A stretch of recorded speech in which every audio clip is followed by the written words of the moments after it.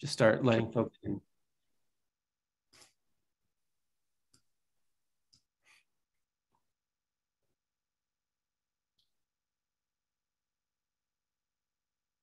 Good morning, folks. As you're coming in, we'll get going in just a moment here as we get everybody woven in to the webinar. Thanks for joining us this morning. We'll give it just a moment.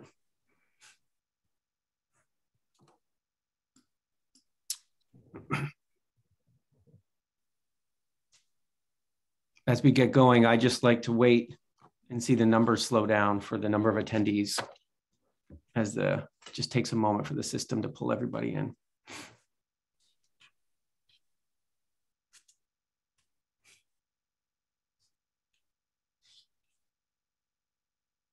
Okay, I think we're here. Great. Well, good morning, everybody. Uh, welcome to this meeting of the Advisory Committee uh, for Maine's Offshore Wind Roadmap. My name is David Plumb, and my role here, along with Laura Singer, um, is to facilitate um, these meetings. Uh, we are doing a Zoom webinar as our, is our usual format for the advisory committee, um, which means the folks that you see here on your screen are members of uh, the advisory committee or key staff um, that are here to support us, um, as well as we uh, are grateful for uh, representatives of our congressional de delegation. Um, so thanks everybody for joining. We're very pleased to have people uh, observe in our conversations today. I'll just note that for these meetings, uh, we don't do a public comment period, but there is a very good vehicle now on the website uh, for providing feedback to this uh, advisory committee and the overall roadmap.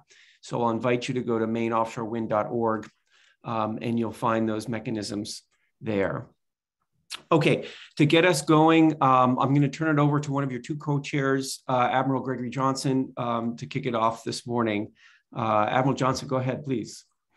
Thank you, David, and uh, welcome everybody.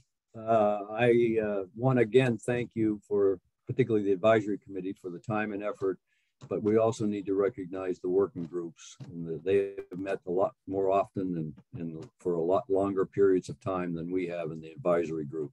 And they've done wonderful work as they continue to refine their recommendations uh, that uh, we're going to have to start chewing on here in the not too distant uh, future. I'd like to remind us that uh, as we get into these recommendations, and everybody and every interested party has their recommendations, and uh, sometimes they aren't exactly uh, all uh, mutually inclusive. And so that's why these meetings are so important. As we gain information, we're ultimately going to have to make decisions. But I'd like to remind us that we need to stay at the strategic level and remember why we're here in the first place. And that has something to do with whatever you want to call it climbing or uh, climate change or changing weather patterns. I spent my life on the oceans, but in a very different way than most people who uh, work in the Gulf of Maine have spent their life. But uh, it's very clear to me, and of course, all naval bases are located uh, along seacoasts, and uh, uh, we have incredible encroachment problems at all of our bases particularly the largest naval base in the world, which is in uh, Norfolk, Virginia, and that entire peninsula uh, has about the highest point is three feet above sea level.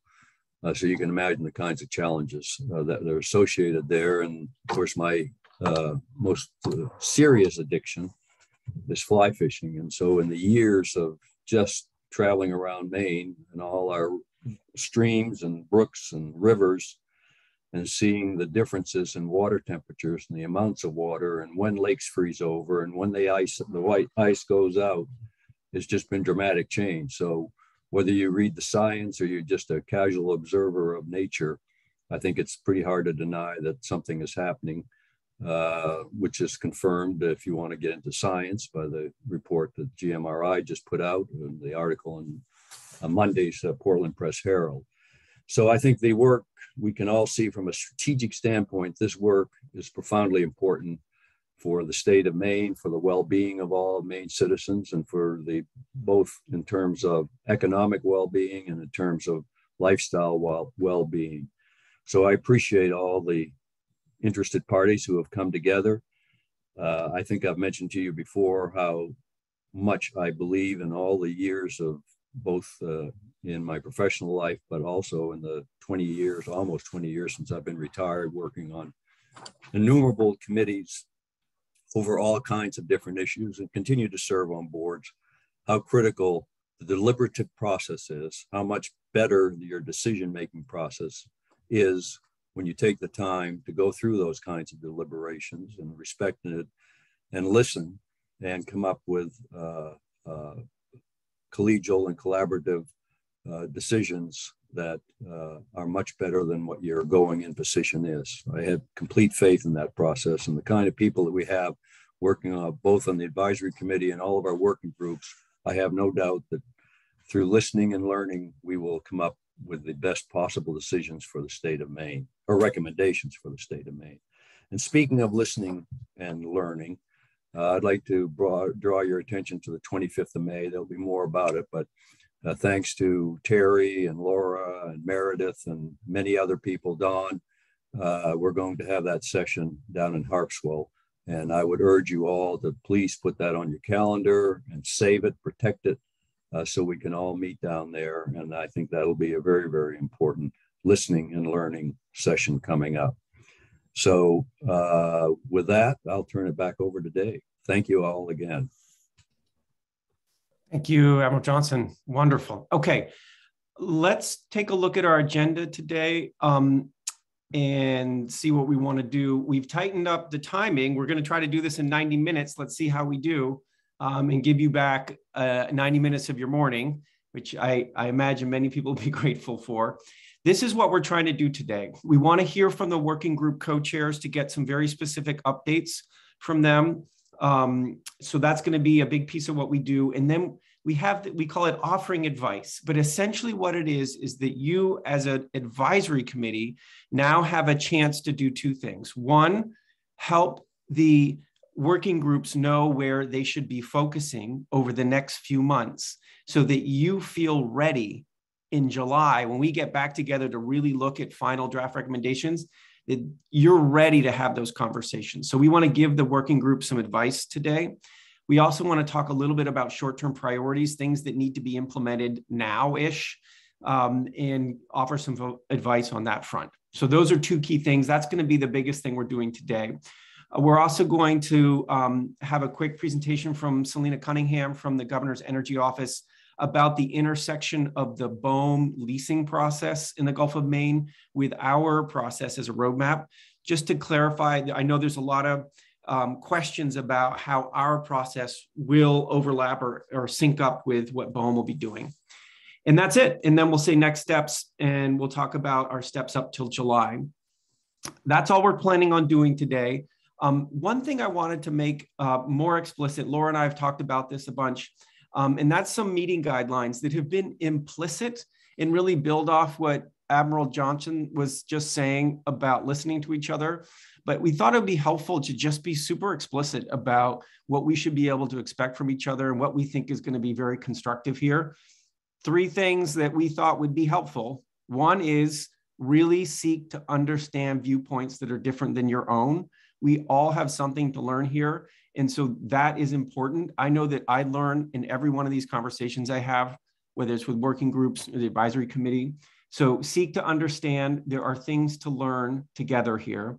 Um, in a similar vein, like have that openness to information and new ideas. Um, that for all of us is a healthy thing. And finally, uh, assume good faith, right? it's tricky right now, um, and we come to this with different viewpoints. Um, let's, for each other, assume that we're all coming here to do what uh, Admiral Johnson is asking us to do, right? Which is to be wiser together. Um, so those are just three meeting guidelines we thought we'd make explicit. and before I go uh, turn it over to, to co-chair uh, Dan Burgess, I just want to pause for one second if we were in person, I'd ask for some nodding heads like, yes, David and Laura, we're okay with those meeting guidelines, or, you know, this isn't working for me, or there's something else. So just a quick um, check. Meeting guidelines, okay. Ground rules, we're good with them, no problem.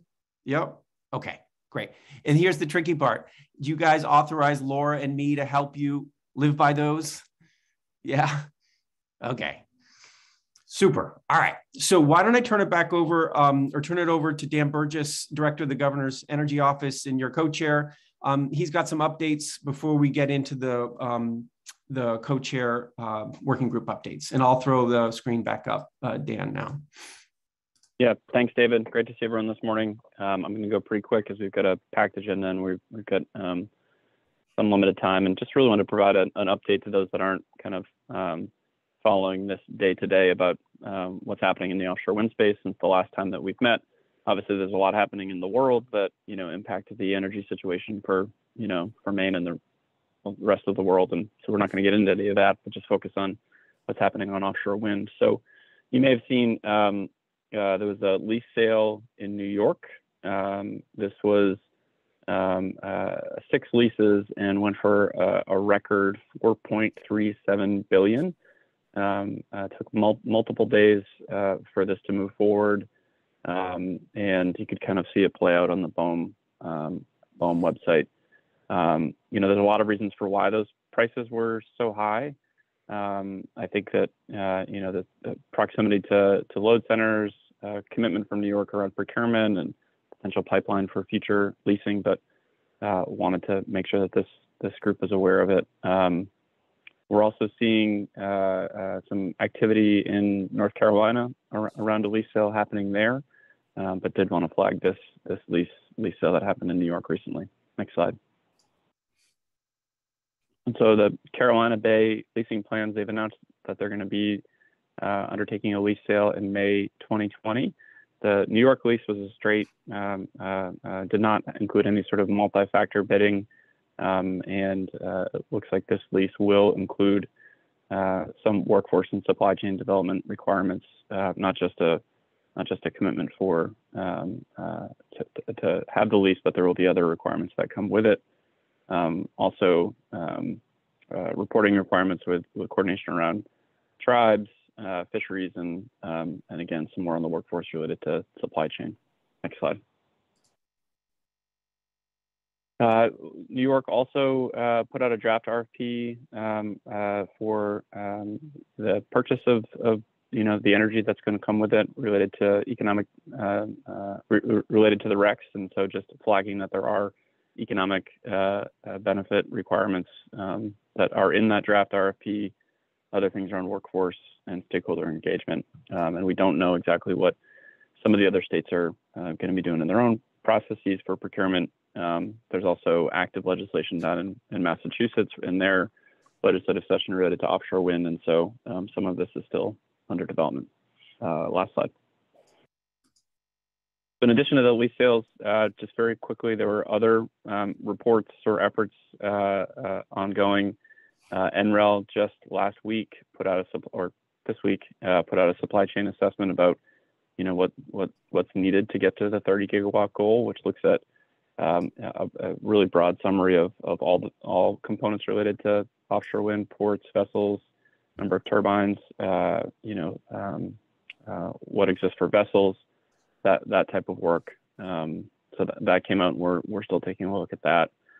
Uh, on fisheries mitigation, BOEM is working with uh, uh, NMFS on developing guidance related to mitigation and compensation. Um, and um, um RFI went out in December, and um, so we're still uh, monitoring that and, and looking at um, BOEM's actions on that. And then finally, the National Academy of Sciences put out a uh, report on uh, radar um, used by ships and smaller vessels. And so that, that came out um, in February. And so those just wanted to provide folks an update that there are a number of different, it seems like we meet every month or two. And between those meetings, there's a whole lot of activity in the space. So just wanted to make sure that this group is aware of it. Thanks. Thanks, Dan. Excellent. Okay, and just to get our brains going before we jump into the co-chair um, the co-chair updates. Um, you know, there's a lot of activity as uh, as Dan says, and I'd be interested if folks could just take 30 seconds, think for a moment, and say, you know, uh, this activity further south of us, how does it impact our work today? So I'd invite you all to do that. Um, uh, hang on just one second. Feel free to drop it right in the chat.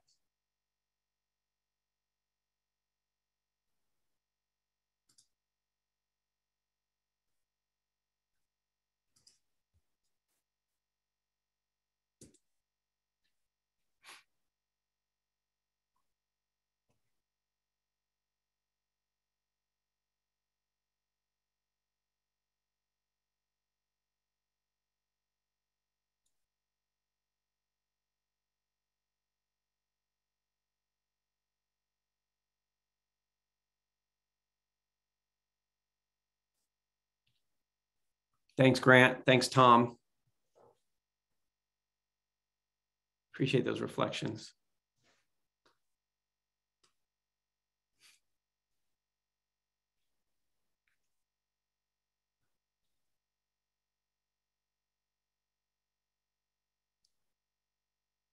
Thanks, Meredith.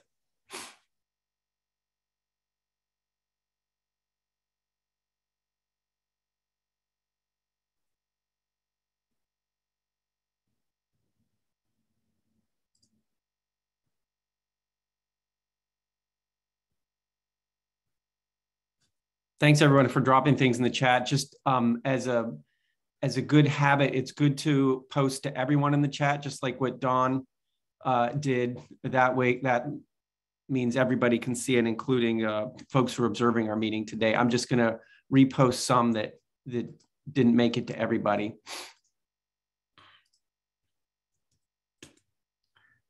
Okay, great. Thanks for this thinking. That's really helpful.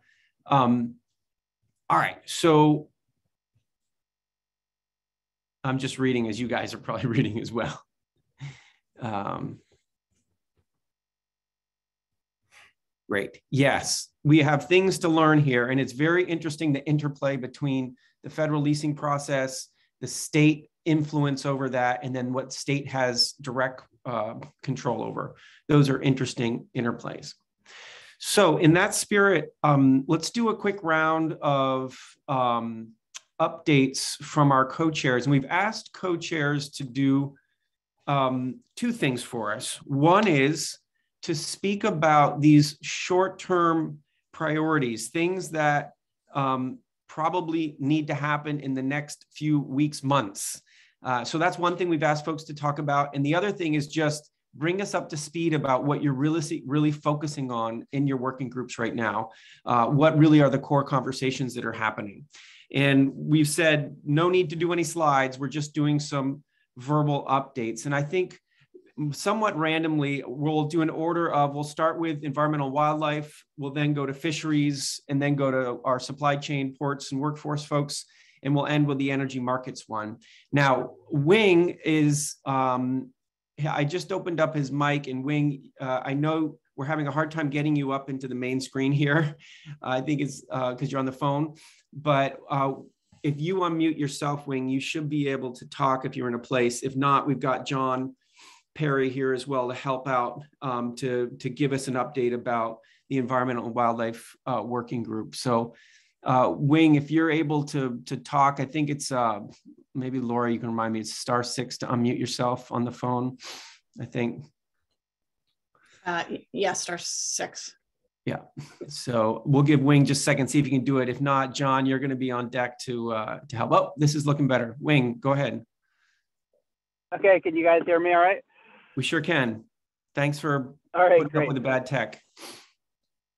Yeah, um, and real uh, quick, I'm about to get some uh, coffee through drive through through here. So uh, let me get through this real quick. Um, uh, uh, really appreciate everyone being here. And uh, just real quickly on our work since we last talked. Uh, initially, we're really focusing on the question of siting and how to avoid uh, siting in areas with areas of greatest conflict. And as we're moving forward now, we're thinking about sort of the the minimization aspect of things. Um, so once a project is sited, what are the uh, types of work you could do to try to minimize potential effects? Uh, so we've had some great presentations from DNV focusing on transmission work. So going from uh, the thinking about going from the wind farm itself to um, all the way to the interconnection, which includes cable landfall and the terrestrial projects uh, or terrestrial sides. So thinking about what are the what are the best practices to minimize um, potential effects there? Uh, we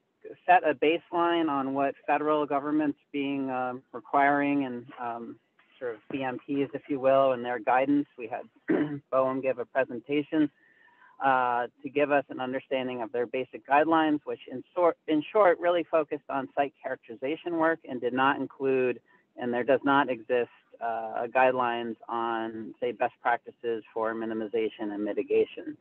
We also heard a presentation from NYSERDA, which was really helpful to hear about their process of basically filling the gap between what uh, BOEM is requiring and uh, what uh, they felt in New York they should do. And I uh, continue to feel that there's a lot to be learned from there.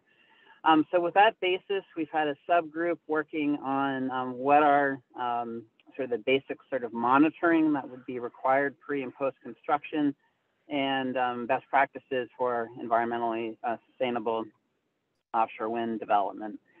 Uh, so those are ongoing and we'll be bringing those recommendations uh, to the group. We're currently editing those right now.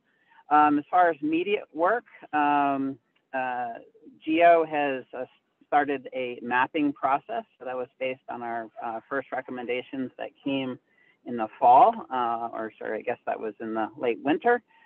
Um, and we're really focused on now on how to um, for the state to best engage with the BOEM uh, task force and then uh, different funding opportunities um, that may be out there on the state and federal level. So uh, hopefully that got through to you guys all. I now have my coffee um, and uh, wish you all a great day. And I'll mute myself again. Thanks, Wing. Thanks for hanging in there and helping out. Um, John, if there's anything else you'd like to supplement with, feel free um, from that. Nope. Thanks, David. Wing hit all my bullet points. So great job. Great. Okay, super. Let's pivot over to Terry and Meredith um, and fisheries. Uh, Meredith, you going to take that on? I think so. Thanks. Hi, everyone. Um, so the fisheries working group has also been working uh, on transmission issues similar to the environment and wildlife working group. Uh, we received many of the same briefings. We met with the Environment and Wildlife Working Group about their initial draft recommendations on these topics as well. We've been considering additional recommendations related to transmission, including how to minimize habitat, resource, and fishing activity impacts when we're siting transmission cables, as well as how to monitor them throughout the lifetime of a project. Also considering recommendations around decommissioning of uh, transmission cables. Uh, we've also been thinking about navigation and safety related issues. We received a briefing from the Responsible Offshore Development Alliance, which is um, a partnership between the fishing industry and the offshore wind industry regarding a report they published on recommended aids to navigation.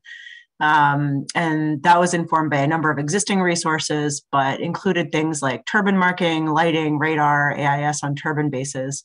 Um, that report was largely focused or entirely focused on fixed platform technology, however. So I think we all acknowledge that there are unique challenges associated with floating technology that will require additional consideration. Going forward, we're trying to finish drafting our recommendations over the next couple of months by working in smaller subgroups. On the two issues I already mentioned, also on two more issues, uh, one of them being accountability, such as compensation for gear loss. There are some good suggestions coming forward from working group members uh, related to that um, based on recent experiences with survey work done for the Monhegan project and that transmission cable. And finally, uh, the the topic that we are probably um, most thorny, the most thorny issue we're dealing with is um, siting uh, this is one where Terry and I would really appreciate feedback from the working uh, from the advisory committee that we can bring back to the working group. This group may recall from the draft recommendations that Terry and I presented in January that the fisheries working group is considering a draft recommendation to prohibit siting of offshore wind turbines within a certain distance from shore. And um, the, in the working group, those distances have been discussed in the range of 55 to 75 nautical miles from shore. We didn't bring a specific range forward in our draft in January, and to date, the working group has not settled on a number.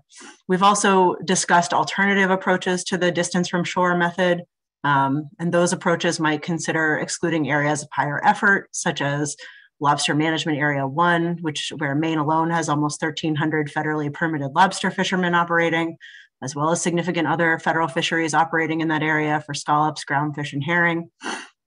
An approach like that could layer in evaluation of areas uh, beyond effort-based exclusion for things like protected or complex habitat, areas of high productivity or high effort in terms of fishing activity. So in effect, you could have a, a blanket exclusion area based on some parameter and then beyond it, more nuanced siting recommendations. Um, again, I'd ask the advisory committee when we get to the discussion portion of the agenda for your thoughts on what kind of things the fishery, fisheries working group should be taking into consideration with regard to this draft recommendation. I think that would be very helpful for us. With regard to priorities emerging that require immediate implementation, um, obviously the siting issues are important as the task force process begins again. Um, so we're glad that the mapping effort is sort of undertaken and um, our working group had a recommendation around compiling and mapping areas of known concentration of priority species and fishing activity to inform siting. Um, we also had recommended a port access route study be being be conducted. That is underway now from the US Coast Guard, just initiated. Um, and then also we had a recommendation that um, the state encourage and assist BOEM in providing active and direct engagement with the fishing industry in Maine as we develop wind energy areas, um, working in partnership with a range of organizations to do that in a robust and meaningful way. So here we are. That's exactly what we're kicking off to do. I'll leave it at that. Thanks. Thanks, Meredith. That's that's great. Terry, anything else on your end that you'd want to add? Uh, no, I think Meredith covered it all. So thank you. Great. Okay. And so let's keep that question that Meredith put out there for our discussion section. Um, and I think, you know, it's a clear request for some ideas from all of you. Um, let's go to uh, the super group, the supply chain, workforce development, and ports. We can start with um, supply chain. Maybe Steve, if you want to give us an update on that aspect of, of that group. Sure, sure. Um, well, our focus since January really has been on uh, initiating or participating in ad hoc groups to develop and explore recommendations for co-benefits. This has been intriguing to our group. Uh, co-benefits can be port enhancements for multiple uses, funding to fisheries and environmental research, uh, new job opportunities created by the development of offshore wind. We want to explore all of that.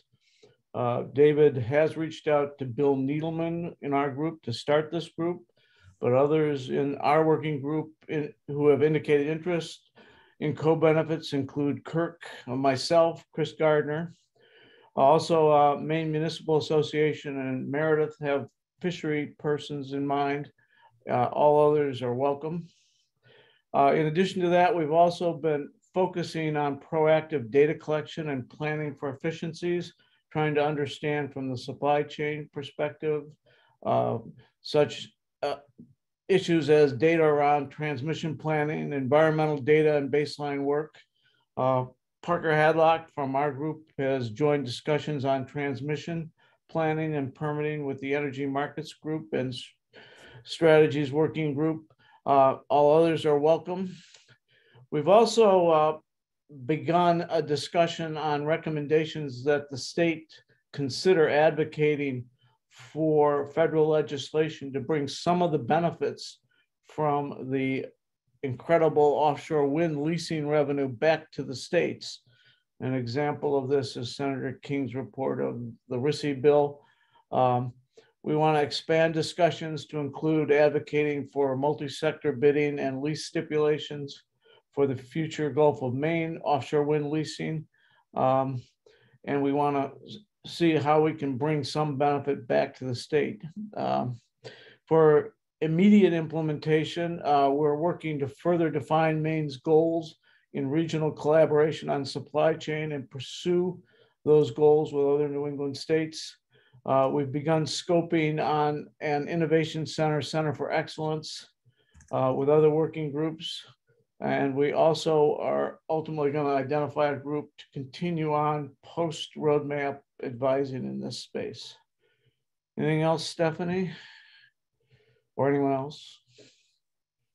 Good, Steve. Thank you. Excellent. Thanks, Steve. Really helpful. Um, Maria Povek, I think you're going to give us an update on uh, workforce. Yeah. Hi, good morning, everyone. Pleasure to see you all. Um, the workforce recommendations um, have all been delivered and we are really eager to get your feedback. I will just note that thanks to Kirk Langford's connections, um, we've had some, we've had a wonderful conversation with the University of Maine's Native American Studies program to think about how we can be more inclusive of tribal populations. And I was uh, I, I, was so impressed by all the things they have cooking with youth and um, STEM, and then also um, working with Native American students on the undergraduate and graduate research levels. Um, and there's some overlap there with Habib and his work. Um, so I'm, I'm really thrilled. And if anybody else has any relationships there with um, Darren Ranco or other folks in the Native American Studies program, um, let's connect because I think you know, the workforce group really identified um, this population as one that we had not yet connected with very um, deeply. And so this was a chance to explore further. So those are the big updates. And I'll be headed to Maine Maritime Academy tomorrow um, to meet with those folks. I'm excited about that. Super. Thanks, Maria. That's great.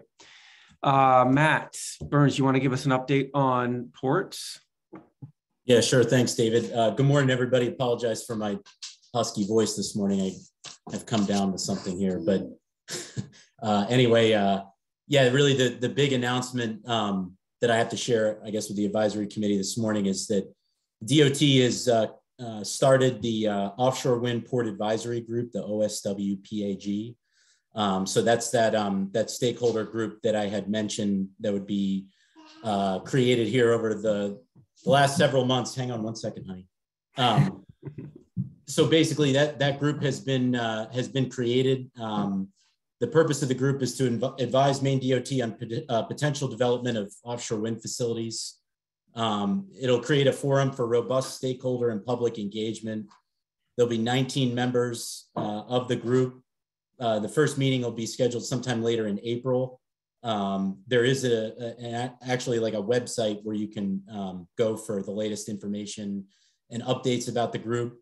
Um, I think David, I'm I'm not sure if there's a way we can kind of blast that out to the group, um, but you know, if not, to uh, feel free to give me a call if you have any questions. But um, can definitely make sure that everybody is aware of that information.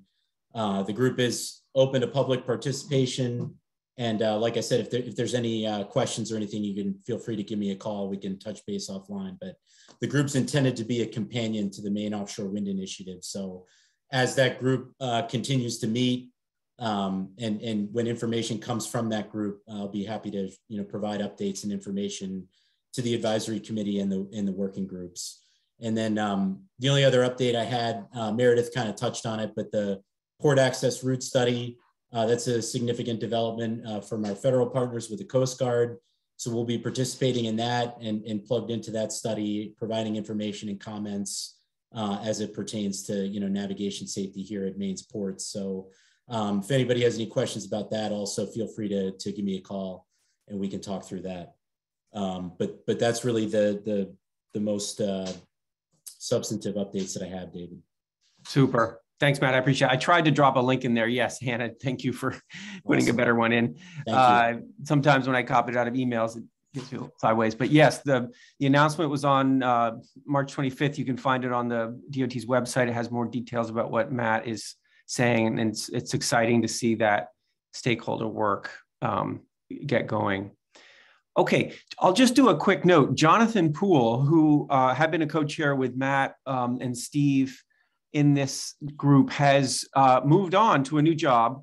Uh, and so um, Maria has stepped in to help uh, carry the torch on, on workforce issues. Um, and Maria's in Hannah Pingree's office in the Governor's Office of Policy Innovation in the future. Um, we are looking, uh, GEO's looking to, to help fill uh, Jonathan's shoes as we go forward. Okay, so we still have one more working group, and that is energy markets and strategy.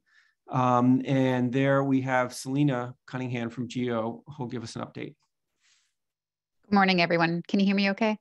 Yep. Okay. So we have been working with um, our contractor DNV since uh, for a number of months. And I think over the course of the next month or so, we'll continue to kind of refine and hopefully finalize some of the products that will be really important for the work of our working group as well as for the entire roadmap process. And that includes um, the energy needs assessment, um, which uh, will have an, in draft form um, next month, as well as the socioeconomic analysis that we have been working on. Um, that uh, there have been ongoing interviews that DNV has been conducting to help uh, build out the qualitative components of that analysis. And uh, we want to make sure that that's all included as we um, work to finalize the, the analysis. Um, we are also um, getting a, a, a, document related to procurement strategies. What is the best way to um, procure uh, offshore wind in a way that is beneficial for the state um, and cost effective? And so we'll use that those tools to help refine our existing recommendations. In terms of the recommendations that we have, we have one related to setting a procurement target and a process for procurement.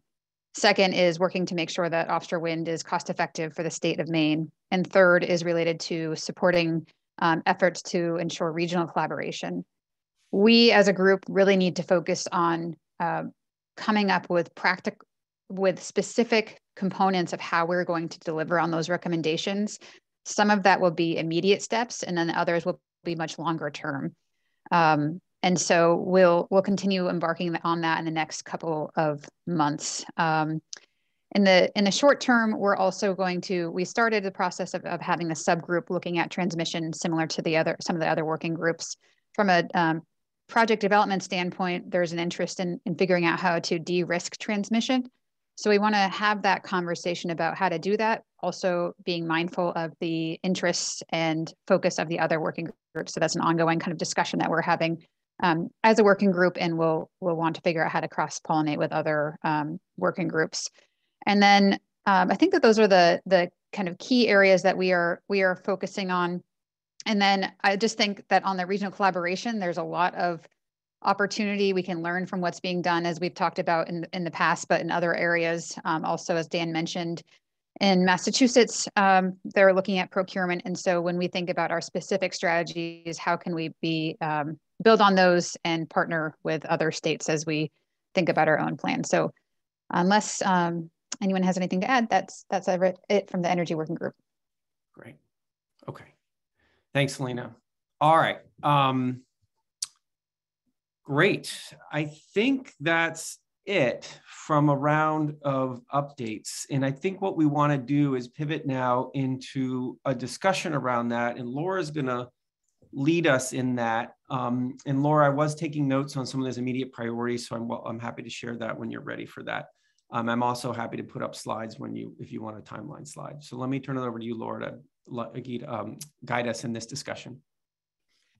Great. Good morning, everybody. Wow, um, that is a lot, a lot of work that's been accomplished. I think, um, I think someone mentioned earlier this morning. I think it was Stephanie that this is meeting maybe number 50 of the Maine offshore um, wind roadmap effort. So um, lots of meetings, lots of conversations, and lots of great work. We just wanted to find, um, take a fir first, just take five minutes um, to sort of get a temperature check of some of the short-term priorities you just heard. You know, which ones resonated with you? Um, are they headed in the right direction? Um, and we don't have a lot of time because we've you know kept this agenda short. But if you we have you know a few months now for the working groups to finish up their work. And um, we want to make sure we're giving them enough guidance from the advisory committee on the, the type of work that they should um, be doing to answer the key questions. They laid out some things. I think um, david was going to put some of those in the chat. And we just want to get a sense from you either thumbs up thumbs down um, or anything in the comments as we pause and sort of say, okay, yep, is there they're headed in the right direction or is there something that was really missing that you want to make sure that the working groups talk about or dig into in the next couple of months headed towards our july meeting right where all the working group recommendations will come together and we'll have to do some um, good work there in terms of bringing everything together so i'm just going to pause for a second to see if there's anything that's either missing, and I see Tom putting his hand up. Um, Tom, go ahead.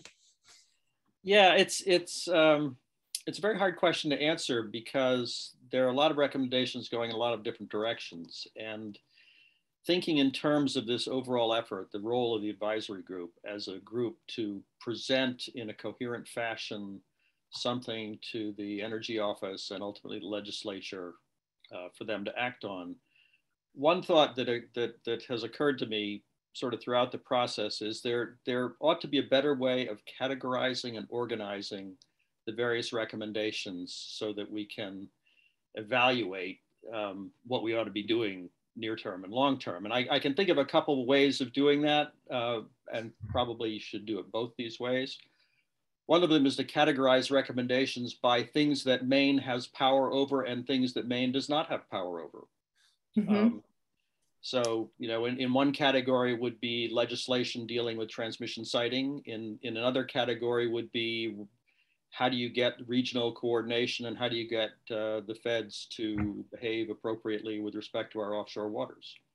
So that's one division. I think another division are, and there are sort of subcategories within there, for example, for things over which Maine has authority, who has it? Uh, does it require legislation? Can it be done by uh, the Energy Office? Um, can it just, you know, can be done some other way?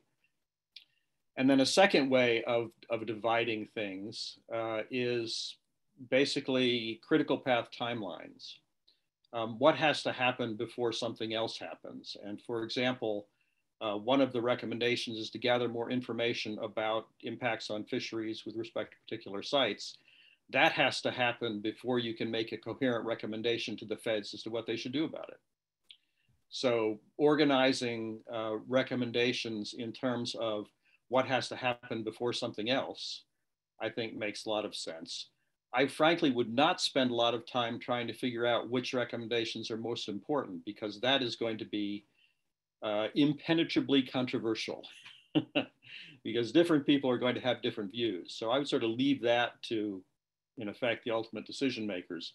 But at least those first two kinds of categorizations I think would be very useful if the working groups can sort of each organize their recommendations in those kinds of categories, that will make it easier to bring it together uh, for the ultimate product that's going to go to GEO. Great, good, good thoughts and good feedback for the working groups. Um, Admiral. Yeah, I'd just like to jump on what uh, Tom said. and uh, uh, first of all, there's a lot that Maine has no control over. So we ought to differentiate that. Uh, I completely agree. And then, of course, who, if of those things that Maine has power over or authority over, who is the accountable party and what needs to be done? And the whole thing about sequencing is uh, critically important. And uh, if you do all of those things, then rank ordering our various recommendations, I don't think that's anything we have to do. We just need to make sure we get all the right stuff in there that needs to be considered and then who's accountable for it. Uh, I think that'll really do two things. It'll make our job much easier. It gives us some kind of a coherent overall structure. And I've been thinking about this too, but I wasn't smart enough to come up with the kind of nice recommendation Tom did. But I think that's profoundly important as we go forward from here and as we try to tee ourselves up for the, what is it, July 20th meeting I think that would be a very good way to structure uh, that upcoming meeting. Great. Thanks for that feedback. Are there any, um, when you look at those immediate priorities, can I just get it? like, are those the, are, are those the areas, the topic areas that you think, are there, is there any topic area that's not covered that we want to give guidance? And then um, we'll pivot and actually spend a few minutes directly um, answering Meredith's question that she asked uh, regarding the fisheries working group and the things that they're struggling with in the next couple months. But are there any, um, can I just get a quick thumbs up? Yep, they're headed in the right direction. Or no, there's there's some big holes that we think that they should try to grapple with in the next couple months. Don.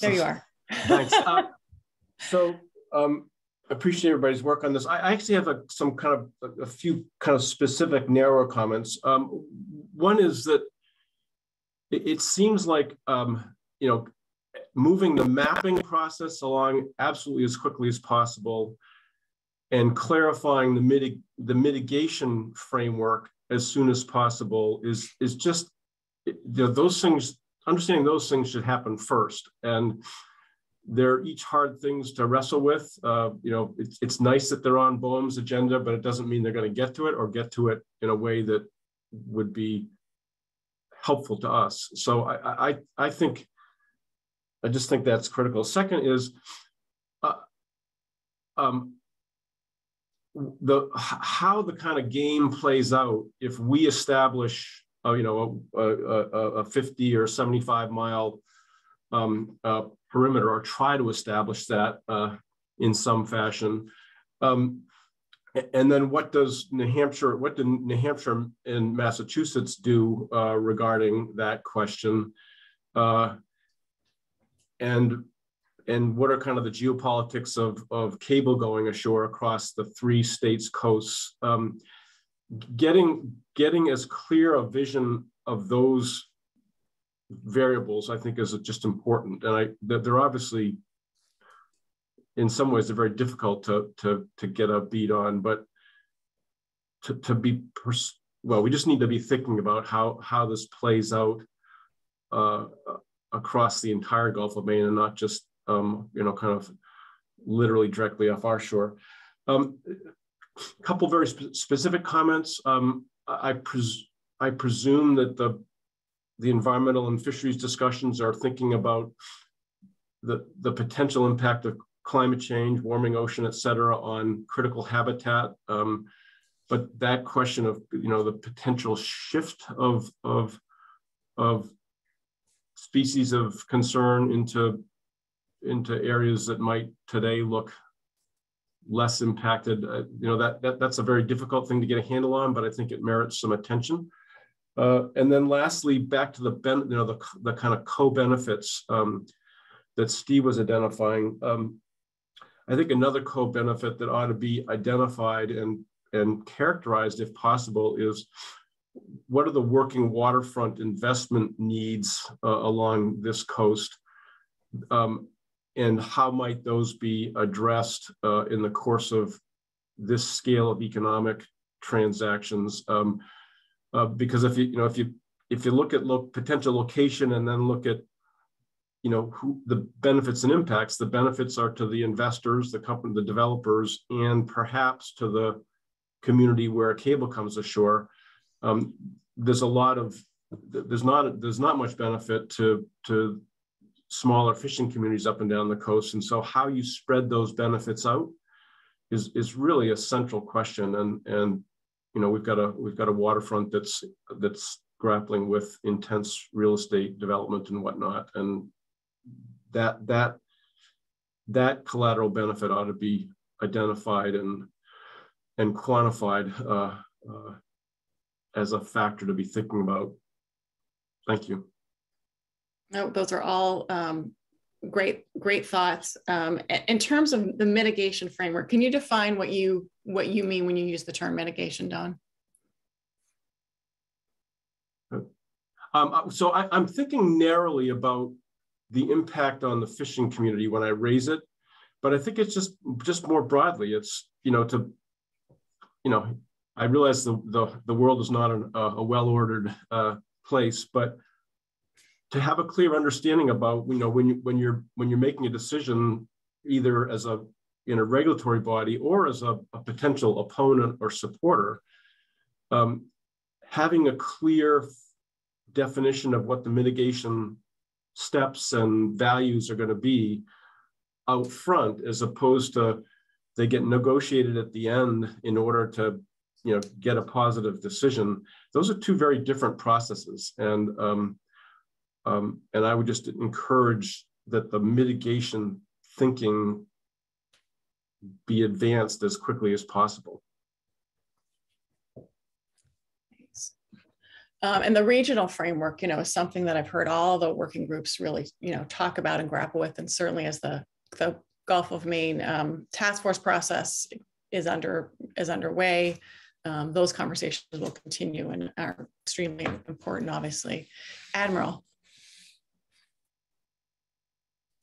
On the in the spirit of li uh, listening and learning. Uh, Don, on your very first point about mapping and mitigation, I presume you, when you say mapping, you meant in the sense of usage.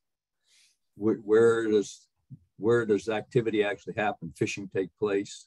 Good data on that, and then mitigation strategies to support or protect those areas, or if there's encroachment in those areas. When you say mitigation, is that what you, you do you mean compensation?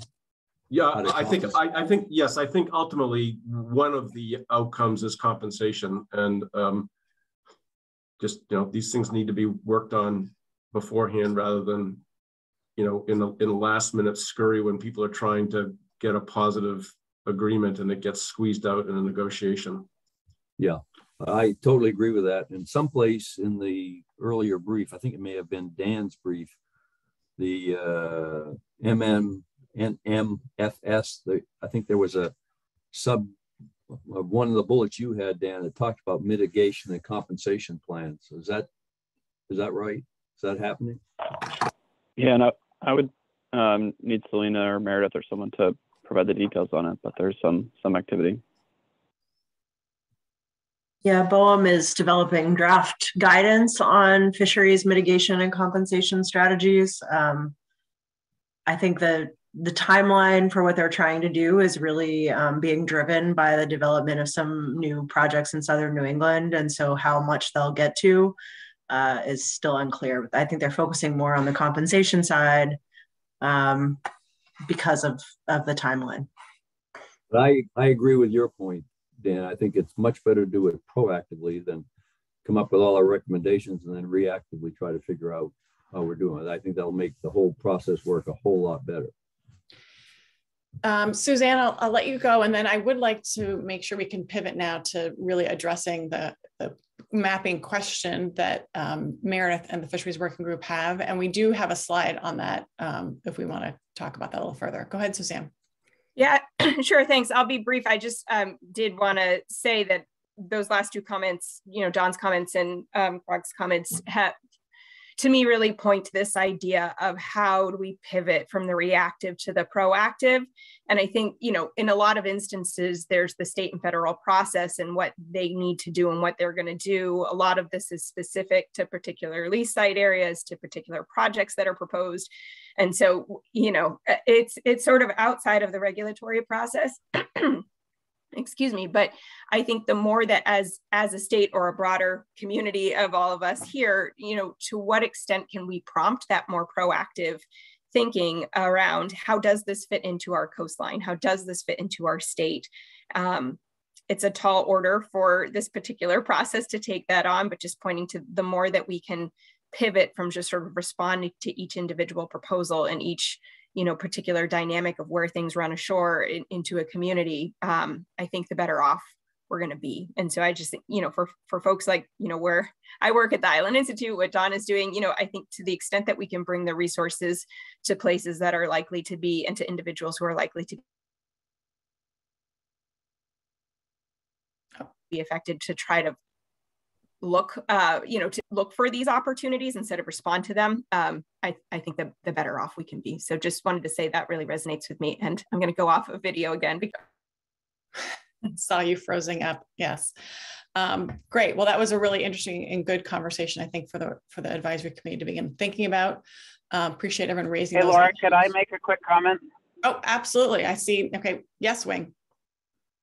I'm sorry, guys. Um, I just wanted to reflect on a couple of things that was said um, about what we can and cannot do or, or have say over. And I think we need to think about uh, recommendations in terms of when power may be coming ashore to Maine and when it may not be, because a project sited in exactly the same location could have power going to multiple states, um, and that is not Maine.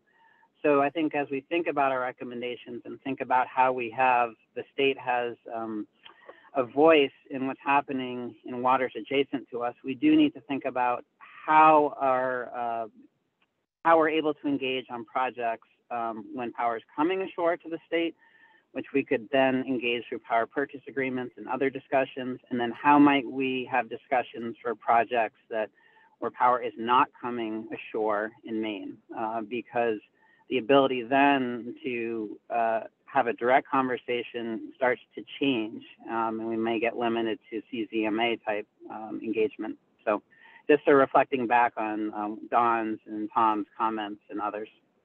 Thank you. Thanks, Wing, and, th and thanks for jumping in there. Terry.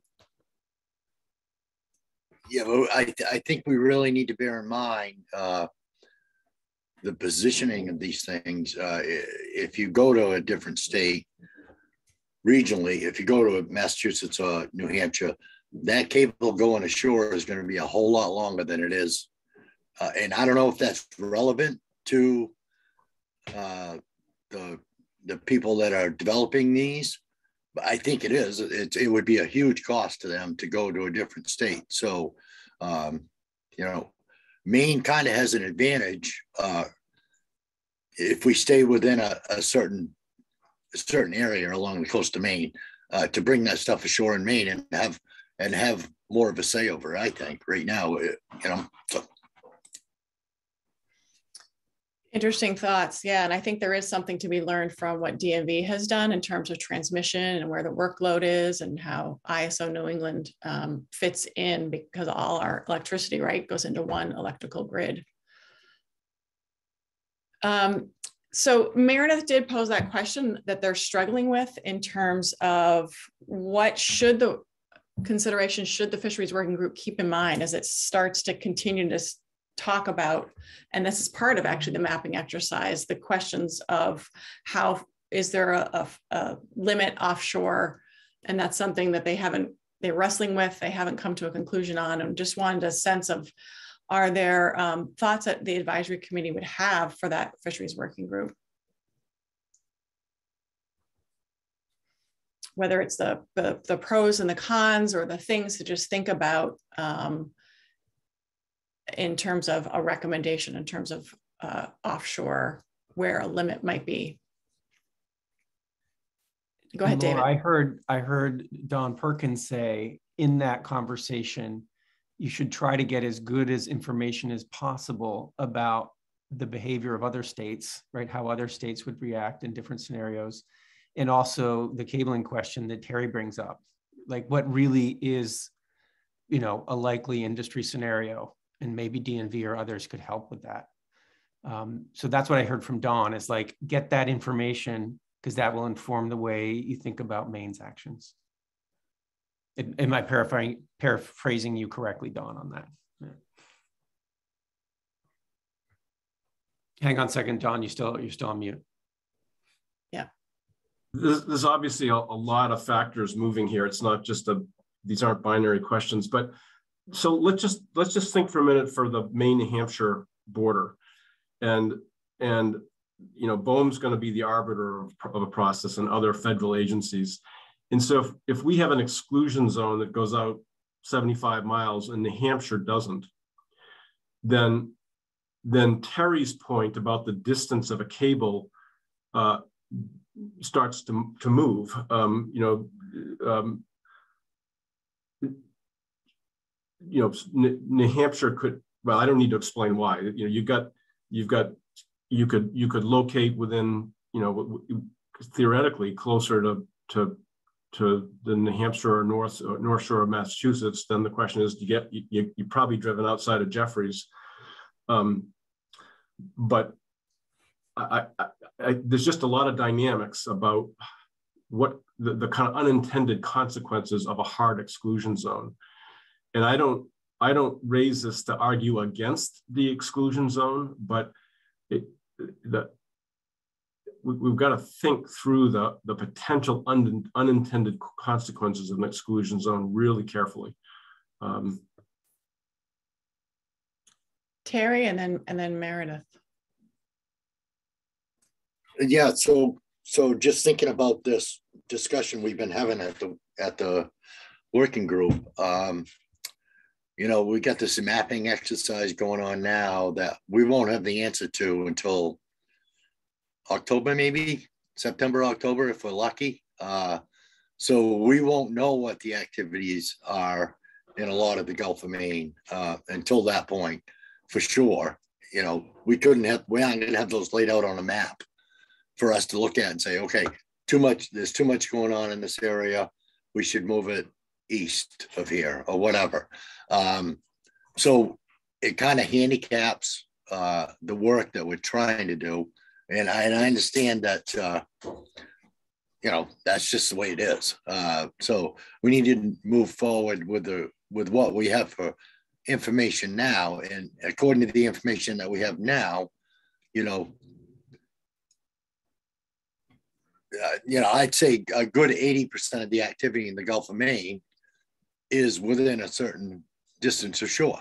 Uh, you know, lots of lots of management area one within that area. Um, and that area is really, really precious to the state of Maine. I mean, you know, 700 and something million dollars worth of uh, lobsters got landed here last year. So, uh, and each one of those, you know, feeds two or three, four fa- families, you know, along the coast of Maine. Um, so, and as we're talking about, you know, developing these ports, and we want, we, you know, if we want to go ahead with developing these ports, we also got to bear in mind the cost that is going to come to each one of these small communities with these small businesses in them. And uh, I, you know, so it's it's it's hard for us to come up with an, an exact number. Uh, you know, I I put a proposal out in front of the working group, uh, thinking you know it would it would eliminate eighty percent of the the traffic, and then we'd have twenty percent of the people to work with to to make sure that uh, you're able to place these things in areas that aren't important not only to them but to the fish the the fish and the environment that the fish grow up in on the bottom of the ocean you know and there's a reason why you know people always think oh you can just go over here and catch fish. Well that's not true I, there's a reason why those fish are in that area the reason is they like that area because of its temperature because of its uh, ecology, uh, you know, the makeup of the water, what, whatever it is. There's a reason those fish are there. And, and there just aren't fish everywhere in the ocean. And there aren't lobsters everywhere in the ocean. Um, so we just got to be mindful of that as, as, we move forward. And, and so I think the easiest way to approach it is to make, make it not be uh, tempting for somebody else, for the one of the developers to go to somebody else and look another state, but also being bearing in mind the the cost that it's going to be to the coast of Maine. So right. So there are multiple factors to really think about how to de-risk the project and de-conflict it without making um, it seem as though it's not possible for something to happen in Maine or for Maine, which is I think is what Don was saying. Meredith. Yeah, I'll be quick. I just wanted to say, I mean, for people who may not be familiar with what this map might look like, uh, I'm sorry, I don't have a visual handy, but um, 55 to 75 nautical miles excludes a good portion of the Gulf of Maine. Uh, really starts to push, you know, beyond that area. You're you're pushing pretty far south towards the coast of Massachusetts, off of Cape Cod, and I think that's important for people to understand. Um, I guess the other thing is, I think we're struggling um, in the working groups discussions with thinking about how, you know, are we if we go that route, are we saying the whole area is important and therefore we're not distinguishing a more nuanced perspective of what's important? Um, because obviously, Maine, you know, we can make this recommendation, but we we can't control what happens in federal waters. So that's just one piece I wanted to put out for people's consideration. Great. Well, obviously I know the fisheries working group is thinking really hard about what are the implications and what would it mean to have a recommendation like that. Appreciate you guys from the advisory committee. Don, do you want to uh, weigh in one more time here and then we'll move to a little exercise to sort of make sure we're leaning into the right questions. Go ahead, Don. Follow-up question for, for Meredith or, or Terry are you thinking about the, this exclude? So if, we think about zone zone one and, and think about how it extends off of New Hampshire and the North Shore of Massachusetts, are, are you thinking about this narrowly as a as a state strategy about about an exclusion zone, or are you thinking about it as a zone one strategy that we'd pursue politically at the federal level across its entire, you know, Maine, New Hampshire, Massachusetts uh, geography. I don't know that there's a lot of clarity about that, Don. I mean, I think um, I, I think the but I think to to sort of your bigger picture question, I think the working group's thought is make a recommendation that the state is advancing, right? So that's sort of why we're seeking feedback from the advisory committee here, because this would be something that the state would need to carry forward into the BOEM task force process. And so, um, yeah, there are there are potential implications for further southern, you know, for the southern half of the Gulf of Maine as well. So my right. my my strong suggestion would be to think about you know advancing that as a as a Gulf of Maine issue as opposed to a Maine issue and, and covering the the New Hampshire shore and the, the north the north shore of Massachusetts because I, I think otherwise there are just unintended consequences of a Maine zone versus New Hampshire Massachusetts zones that we just can't begin to imagine. Terry, do you have something critical? Yes. So, so if you if you looked at my proposal, Don, uh, and I don't have a copy of it, so I can't show it to you. But uh, Meredith, Meredith had it drawn on a map anyway. Um, it go it comes down along, so the exclusion zone would be around uh, New Hampshire and the North Shore of Massachusetts too. So it takes in all the way down to uh, New Ledge goes south of New Ledge down to the 4220 line, down to the Georges Bank area management. So it does, we we did think about that. Celina. It's it's helpful to hear different perspectives about this. And I I I think that the mapping process will be very helpful in terms of how we should pursue this as a state because what I want to make sure that we're doing is protecting the areas that are of highest important or big uh, highest risk as opposed to specific distances and specific distances in some instances might be appropriate but i just get concerned about us getting ahead of understanding all of the data that might be helpful to inform that decision. And then i just say i think that other states might have very different perspectives about how far they may be interested in having pro- uh, projects off their shore and as we think about whether or not we are going to be procuring, assuming that we are going to be procuring offshore wind, there is a cost obviously to that distance. And so there has to be some balance to that understanding we want to put these in the right place, don't want to build them, build them in the wrong places, but things that we want to kind of think through um, with some um, data to support it. So those are just a, a few thoughts.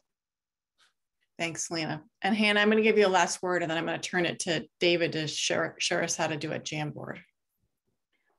Jamboard. That sounds way more exciting. I hate. Doesn't that sound cool? Yeah.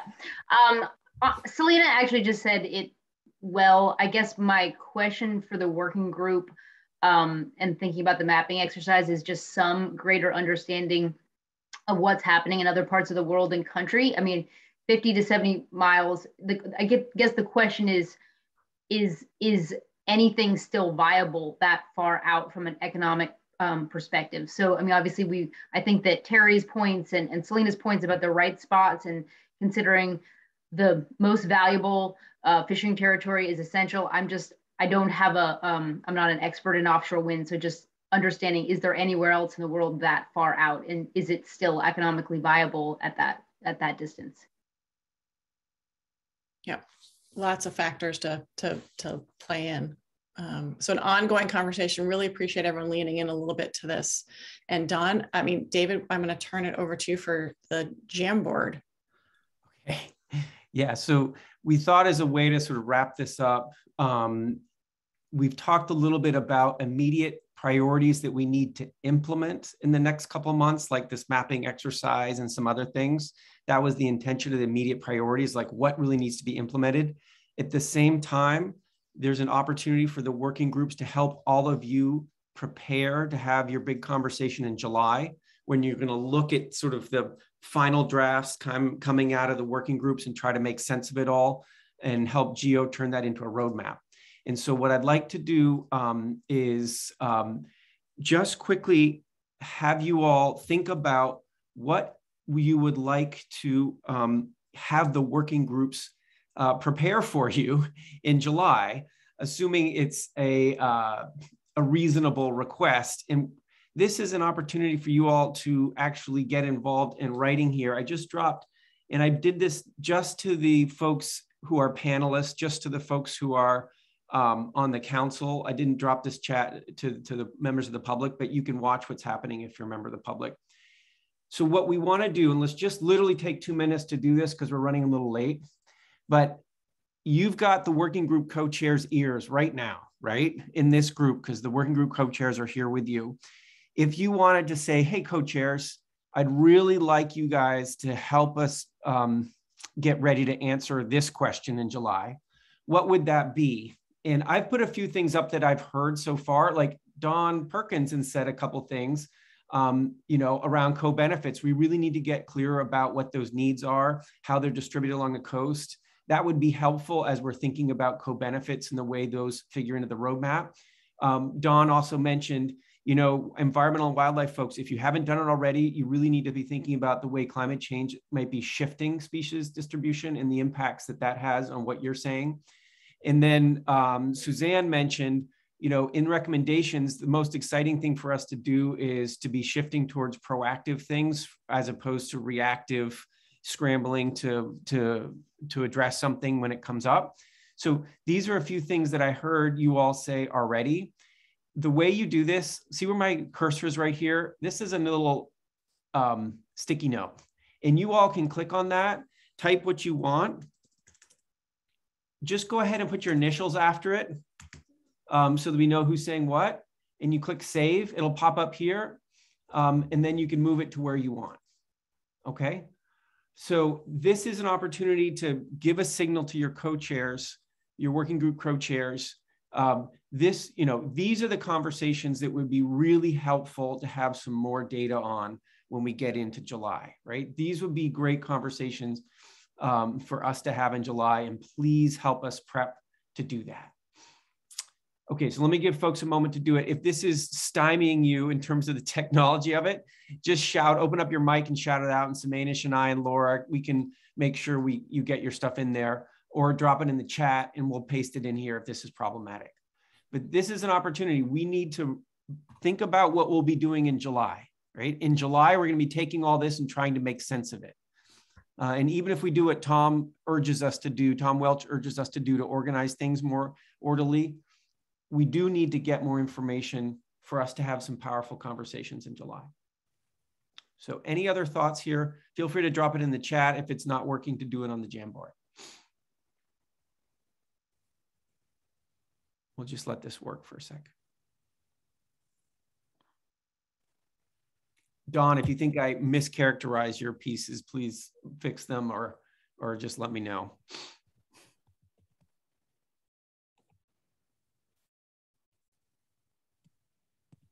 And remember to put your name or initials. Yes, please.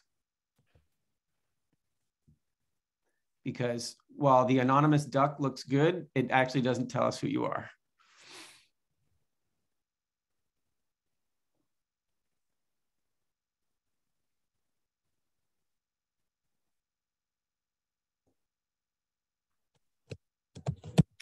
Does anybody need more time or are we feeling like we've kind of done everything we can do here? David, I um, just to throw it in that I can't seem to get direct access to the Jamboard. Um, okay. I think kind of best best available information about uh, exclusion zone uh, exclusion zones around wind farms or around individual turbines uh, and how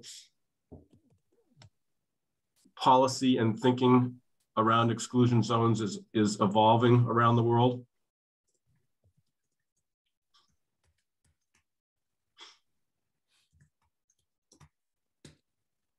Great. Anything else like that, folks? Uh, James got has one in the uh, chat there. Do you want me to put that in there? Please. I'm going to test my Jamboard skills here. That's right. All right. David, I think uh, this Terry. Yeah. Uh, I, I, think that uh, Don's point about co-benefits to the to everyone, to the fishing communities, and and to uh, the regular ratepayers in the state of Maine are are very important things to take into consideration here. So, yeah. So maybe more about the cost implications, Terry. Yeah, I think so. Cost benefit analysis or whatever you want to call it. And I just did a quick one on that, Laura. Okay, great. Okay, so great. We're seeing a few things. Let's let's leave it here because um, we want to hear from Celina uh, with a little more detail on how how our process could intersect with the with BOEM. Um, but these are some ideas that would make our conversation easier in July. We'll say a little bit about next steps when we finish up. We will have some conversations before we get to July, but July really is an important milestone for us. Okay, feel free to keep working on this while we while we move to the next thing. Thanks everybody. This has been really interesting. Um, Celina, do you? Uh, I can lift up slides for you um, so that uh, you can walk us through some thoughts you have on on the the BOEM process.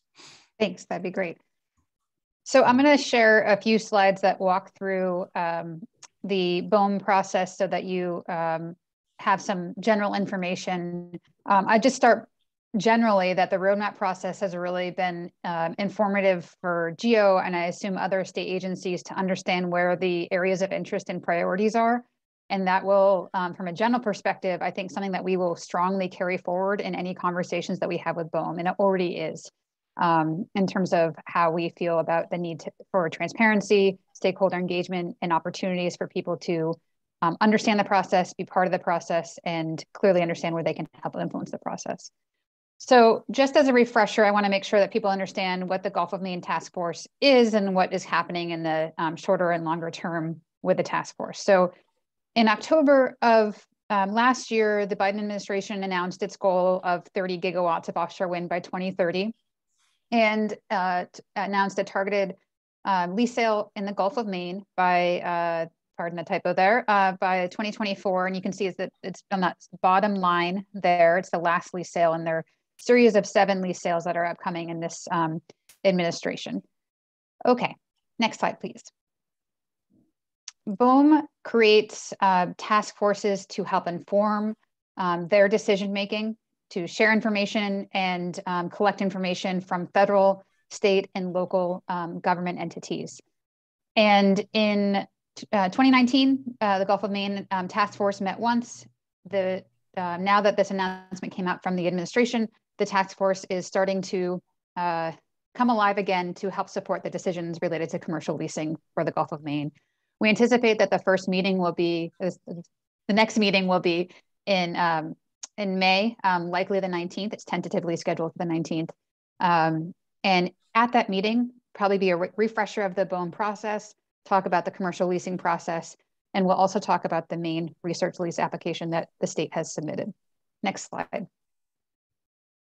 In terms of what to anticipate in the next year or so, or year, uh, years, year and a half, um, is the the overall beginning stages of the leasing process, from request for information all the way to project development um, and installation. And this will vary uh, dramatically depending on where you are um, in the on the coast. But if you go to the next slide, David, just want to zero in on that first section there. So the um, BOEM can hold a, can issue a request for information to get information about um, interest from developers, interest in concern or uh, areas and data from an environmental fisheries, um, navigation, cultural, uh, different different data sources that would be helpful as they to inform their leasing process.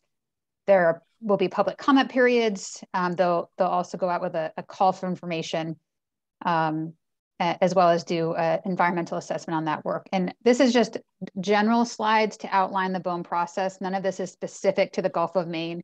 They have not yet announced their specific strategy for the Gulf of Maine, but just wanted to give you a sense of what their options are related to leasing. Next slide. And generally they go through a winnowing process of identifying a larger area And then if you want to just quickly go through the next slides and keep on going.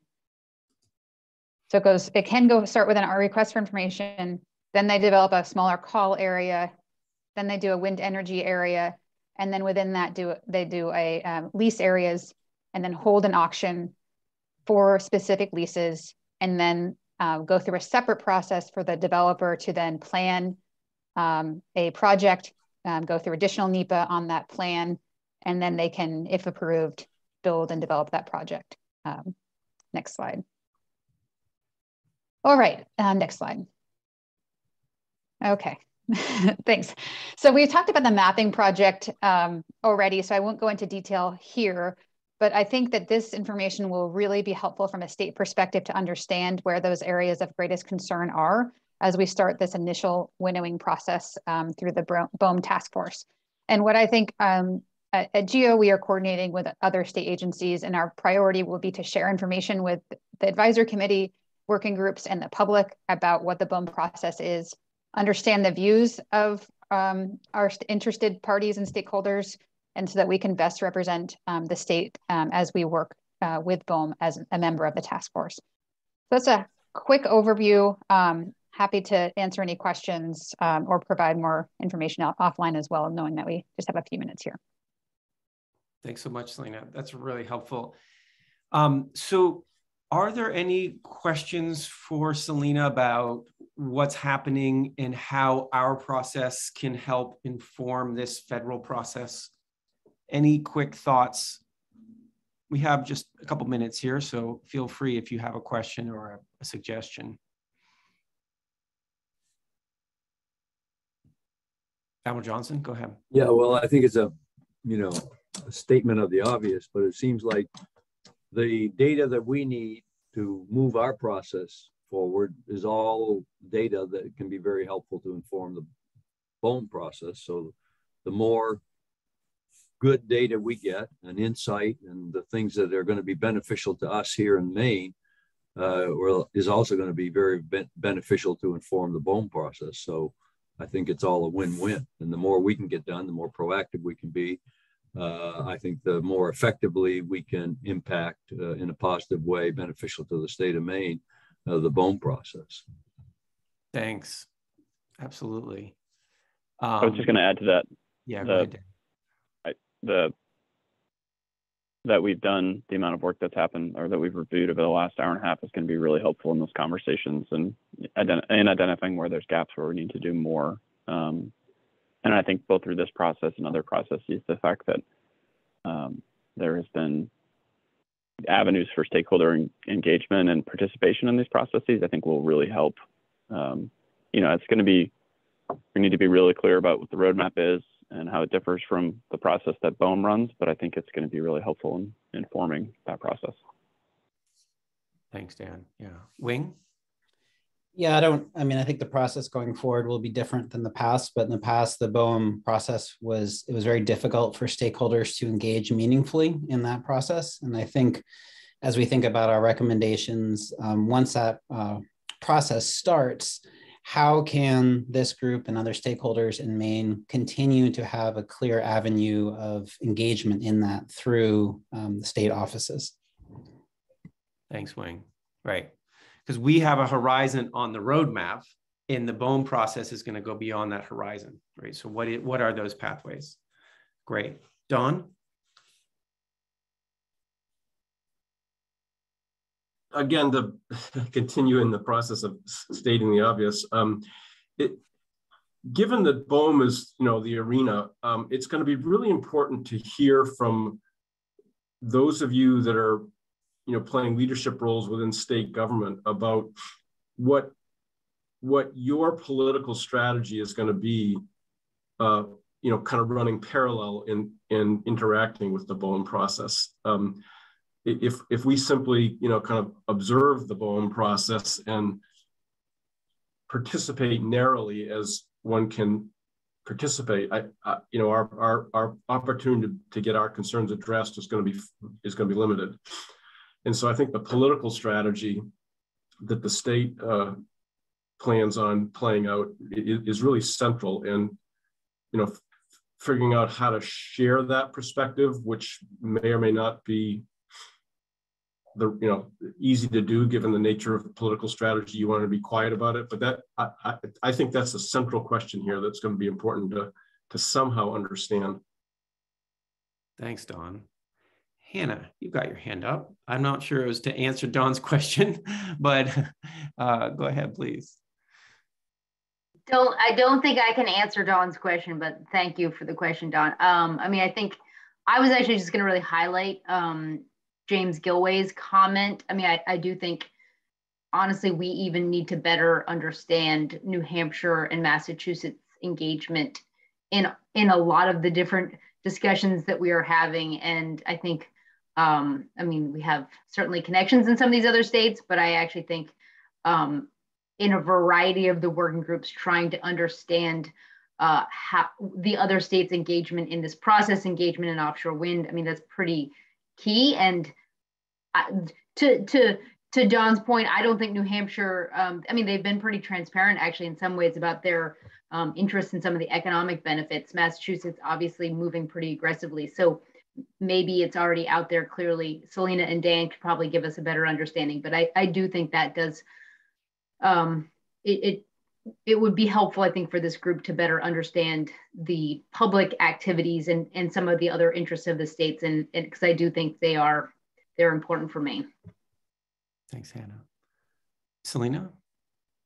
That's a, that's a good. And I think we can certainly do that. Um, the states have started to have conversations leading up to the task force meeting. And I, I personally think we're having, uh, you know, great dialogue between the three states in terms of um, how to do this process, how to be transparent, how to make sure that um, stakeholders in individual states have information and kind of um, kind of feed together. And so that is something that we're actively working on. I'd also say that as you saw through Dan's presentation, um, just on the lease stipulations alone, um, we do hear from BOEM an interest in um, improving the, the kind of stakeholder uh, transparency piece, as well as the, you're seeing more detailed lease stipulations. And so I think that this is an evolving process with this administration and there's ability to do um, shape it in a way that works best for the Gulf of Maine collectively as, as the three states. But we can certainly, to Hannah's point, bring some information back as we solidify plans across the three states.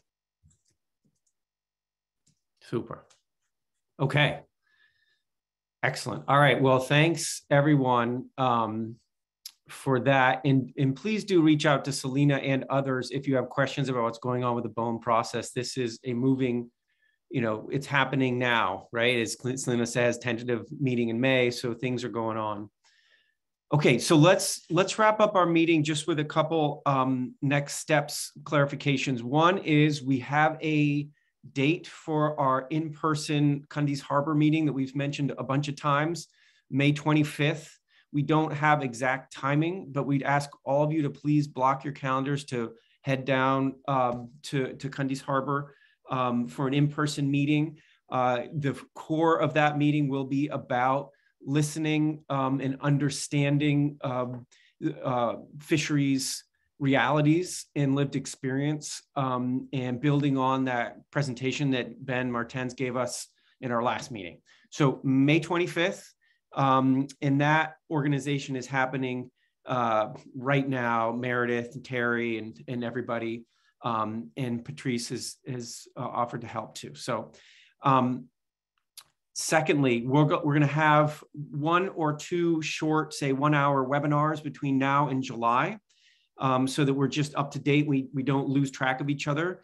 And in July, in your calendars is a meeting, and we're going to try, you know, COVID permitting, again, to be in person um, and do a significant meeting in person, uh, maybe a half day or something like that, um, to really wrestle with what these recommendations are telling us and what this means for a roadmap and how we want to really provide the best advice we can to GEO on that. So heads up for that July meeting. Mark it in your calendars is probably in person. Um, and we look forward to seeing you there. The last thing I'll say is, um, as you all know, this has been a period in March and now into April of what we've been calling proactive stakeholder engagement around the draft initial recommendations. Um, and it's been happening and will continue to happen. Um, and Laura can help remind me of all the pieces this, that have happened already. We've already done an event with the Friends of Casco Bay, um, with Paul Anderson's group, um, and uh, an initial conversation uh, that uh, with the Maine Municipal Association that Neil helped put together and probably some follow-up to that. And some initial conversations with uh, tribal historic preservation folks um, and a few other things that have happened. And next month, expect um, conversations with Maine conservation voters. Um, we're trying to work something with uh, Ben Lucas uh, and, and Matt um, with the Chamber of Commerce. Uh, and there's a handful of other working around doing one with youth voices and uh, also working around issues of low income communities uh, and communities of color on some of the equity questions.